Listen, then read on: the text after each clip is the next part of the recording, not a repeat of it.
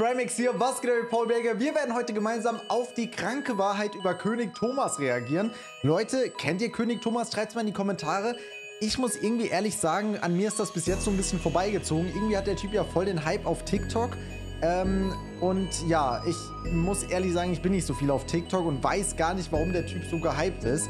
Deswegen werden wir uns heute gemeinsam das Video reinziehen. Ich habe keine Ahnung, was es geht. Vielleicht wisst ihr schon mehr. Lasst ein Like und ein Abo da und dann würde ich sagen, let's go mit dem Video, Freunde. Das ist König Thomas. Der Okay. Mann, der hier im bunten Shirt hinterm Mikrofon sitzt, hat tatsächlich über 300.000 Follower bei TikTok und erreicht mit seinen schrägen Streams und Videos Millionen von Zuschauern. Aber ist die Person hinter der Kunstfigur König Thomas wirklich so harmlos, wie sie auf den ersten Blick erscheint? Alter, In diesem Video zeigen wir Okay. euch die kranke Wahrheit über Deutschlands selbsternannten neuen König und wer Thomas Hornauer, wie König Thomas in echt heißt, eigentlich wirklich ist.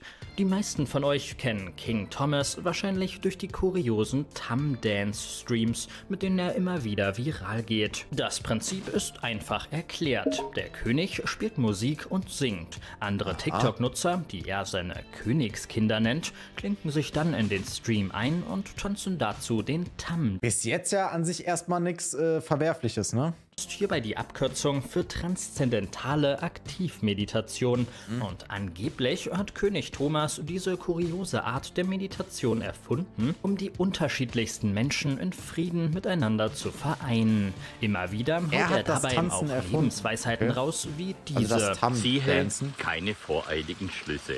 Wirft man jedoch mal einen Blick in die Vergangenheit des Königs, hat man schnell Zweifel daran, dass es dem friedlich, fast schon hippiemäßig wirkenden Mann wirklich nur darum geht, Kulturen zu vereinigen. Wir präsentieren euch jetzt die Fakten und ihr könnt euch selbst eine Meinung bilden. Wie schon erwähnt, heißt König Thomas eigentlich Thomas Hornauer und ist ein 62-jähriger Unternehmer aus Baden-Württemberg. Schon lange vor seiner Und jetzt, und jetzt sitzt er so im Internet.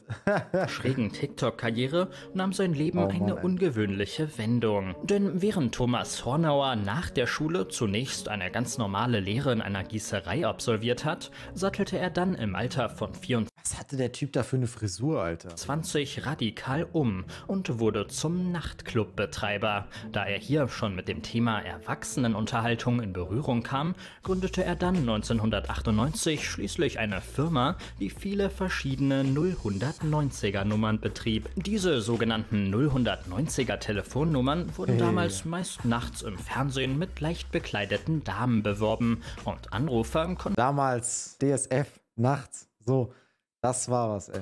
hier anzügliche Gespräche mit Frauen zu sehr teuren Minutenpreisen führen. Immer Da diese Thomas Werbung. Hornauer Als direkt Kind. mehrere solcher Leitungen Als Kind hat man da das erste Mal einen weiblichen Körper gesehen. führte, hatte er schon in seinen 20ern war ein gutes Vermögen aufgebaut. Aber das ist noch nicht alles. Tatsächlich produzierte Thomas Hornauer damals auch eigene Erotikfilme, in denen Ah. er teilweise sogar selber mitspielte. Da der Unternehmer mit seinen Hotlines Also es gibt Pornos von dem Typen. So viel Geld verdiente, dass er sogar zum Millionär wurde, folgte im Jahr 2003 schließlich ein Schritt, der Thomas Hornauer schlagartig in ganz Deutschland bekannt und berüchtigt machte und von dem viele seiner aktuellen jungen TikTok-Zuschauer vermutlich gar nichts mehr wissen. Vor 20 Jahren kaufte er nämlich für anderthalb Millionen Euro B.TV, einen kleinen insolventen Regionalsender, der bis dahin ein unspektakuläres amateurmäßiges Fernsehprogramm für Baden-Württemberg ausstrahlte. Nach Hornauers Übernahme ist mit dem normalen Regio-TV-Programm aber schnell Schluss und er baut den ganzen Sender von Grund auf neu um. Ab diesem Zeitpunkt laufen nämlich fast nur noch esoterische und astrologische Sendungen mit Hellsehern, Wahrsagern und Kartenlegern und auch Thomas Hornauer moderiert dabei selbst. Das Konzept vieler Sendungen ähnelte sich dabei. Zuschauer können über teure Hotlines anrufen und ihnen wird dann ihre Ey, die Leute haben da aber auch 1 Euro 86 pro Minute gezahlt. Und aus, Schwa äh, aus der Schweiz sogar 4 Euro, also 4 Franken 23. angebliche Zukunft vorausgesagt. Es dürfte euch wenig wundern, dass Thomas Hornauer damals auch gleichzeitig der Betreiber dieser Hotlines war und so ordentlich an Menschen verdient, die gerade durch Lebenskrisen gehen und einfach hoffen, dass sie in den Sendungen Lösungen für ihre Probleme Ey, heftig, bekommen. heftig, was sich direkt etwas gemacht hat. dubios anhört, ist es laut verschiedenen Medienberichten aus dieser Zeit übrigens auch gewesen.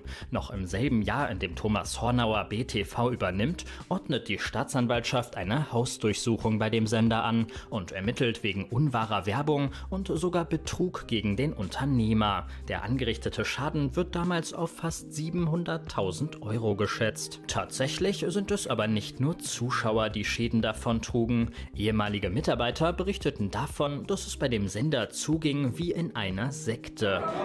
Wie heißt das andere Lehrer? Wollt ihr scheiß viel Geld mit mir verdienen?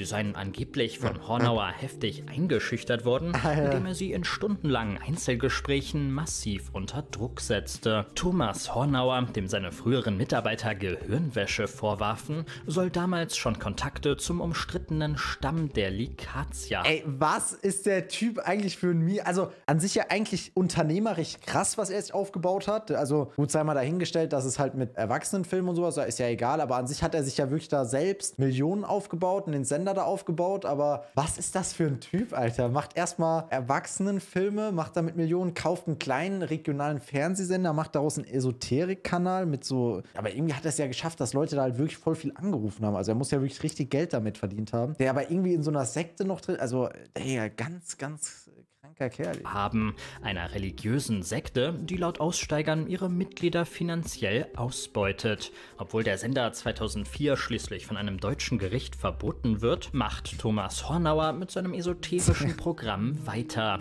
Er startet mit Kanal Telemedial, nämlich einfach einen neuen Fernsehsender in Österreich. Und ab Alter. diesem Zeitpunkt wird das Programm noch bizarrer. Thomas Hornauer, der Kanal Telemedial völlig allein führt, bezeichnet den Sender als ersten spirituellen Sender Europas und führt mit der telemedialen Zeit auch gleich noch eine komplett neue Zeitrechnung ein. Der Typ hat einfach, ich weiß nicht, wie, wie das früher oder wie das ist, einen Fernsehsender zu machen, aber der Typ hat einfach eigene Fernsehsender erstellt, wie als wäre es so, so YouTube-Kanäle heutzutage. Also, weiß nicht, ging das so einfach damals? Diese zählte nämlich die Zeit seit Entstehung des Senders. Als wäre dies noch nicht verrückt genug, sendet Thomas Hornauer neben all den Esoterik-Shows, in denen die Zuschauer gegen teure Minutenpreise beraten werden, nun auch noch völlig kuriose Teleshopping-Sendungen, in denen die Moderatoren tanzen und angeblich Lebensenergie aus einer im Studio aufgestellten Pyramide beziehen, während Hornauer dazu trommelt und singt.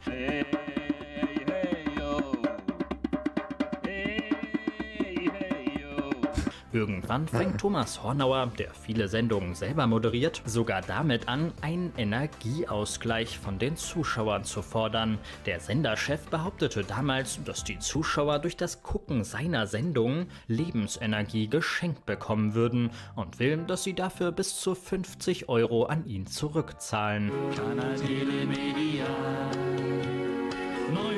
Dann leisten ihre Energieausgleich.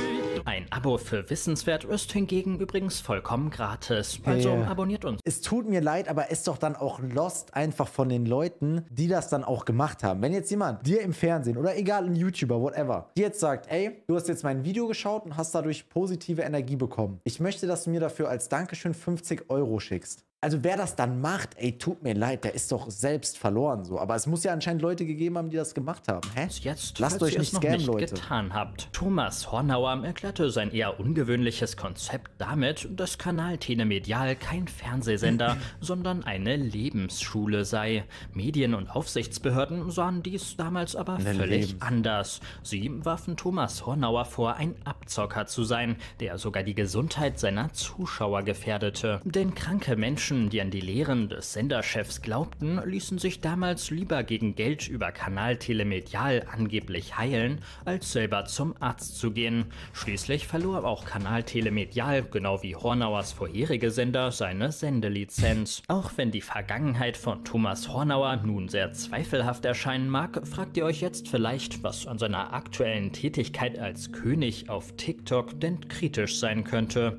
Eins können wir schon mal verraten. Auch auf TikTok sind seine Auftritte nicht ganz unumstritten. Übrigens, lasst uns bei der Gelegenheit doch mal in den Kommentaren wissen, ob ihr König Thomas auch schon mal auf eurer ist halt Page Ding auf so, ne? TikTok hattet und ob ihr ihn geskippt habt oder nicht. Übernehme nie die Meinung anderer, Also ich will dem Typen jetzt nicht zu viel unterstellen, aber wenn man halt seine Vergangenheit so betrachtet, dass er da halt so, so Leute halt voll so abgescammt hat mit seinen Fernsehsendern, ja, weiß ich nicht, ob das dann jetzt nicht anders sein sollte. ne? bilde dir selber deine Meinung. Eine zentrale Frage zu dem TikTok-Star ist natürlich, glaubt Thomas Hornauer bzw. King Thomas, wie er sich mittlerweile nennt, eigentlich selbst an die Lehren, die er verbreitet, oder geht es ihm nur darum, möglichst viel Geld zu verdienen? Schaut man sich seine Vergangenheit an, deutet natürlich vieles darauf hin, dass zweiteres der Fall ist. Natürlich ist es aber nichts Verwerfliches, über Social Media Geld verdienen zu wollen.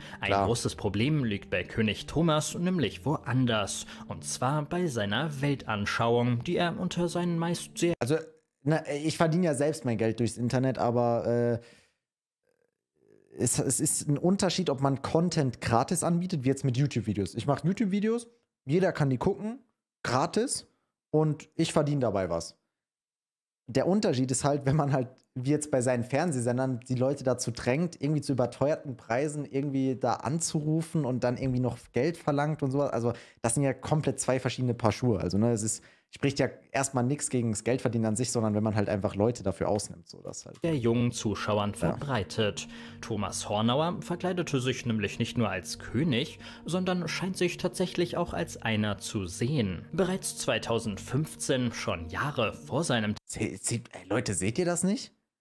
Das ist das Gesicht eines Königs. Jeder, der, wer, wer das nicht sieht, ist blind. Es tut mir leid. TikTok-Ruhm eröffnete er in Plüderhausen in der Nähe von Stuttgart, wo er wohnt, ein sogenanntes Lichtkristallzentrum, in dem er sich dann einen eigenen Thronsaal errichtete.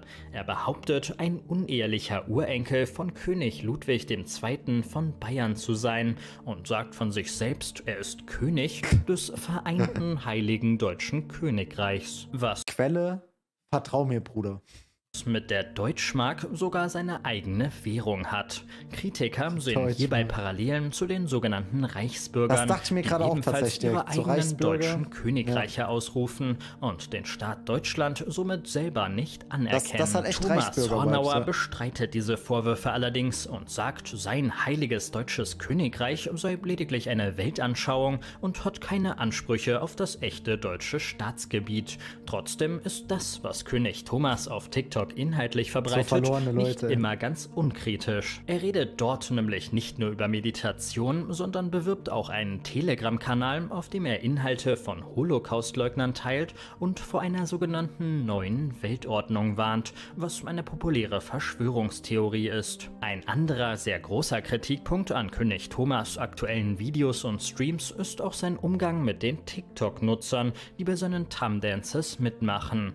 Der 62-Jährige äußerte sich nämlich immer wieder recht unangemessen den Jugendlichen gegenüber und machte beispielsweise anzügliche Kommentare über Mädchen. Dreh dich mal um 180 beim Tanzen, bitte. Dreh dich mal, bitte. Dreh dich mal. Auch auf berechtigte Kritik ihm gegenüber reagierte König Ja, Thomas sogar schon mit persönlichen. Drohungen und erklärte, dass Menschen, die ihn kritisieren, Zitat, rassistisch gegenüber Königen wären. Nun wollen wir euch mal fragen, was denn eure Meinung Wenn du mich beleidigst, ist es Königsbeleidigung. also, ähm, ja, ja, weiß ich nicht. Also, ich bin tatsächlich gar nicht so viel auf TikTok. Ich kann da weniger mitreden, aber anscheinend äh, hat der Typ wohl gerade einen ziemlichen Hype. Auf jeden Fall äh, eine kuriose Vergangenheit, ja. Leute, schreibt in die Kommentare, was haltet ihr von äh, König Thomas? Lasst gerne mal ein Like und ein Abo da, und dann würde ich sagen, bis dann. Haut rein, Leute. Euer Crimex.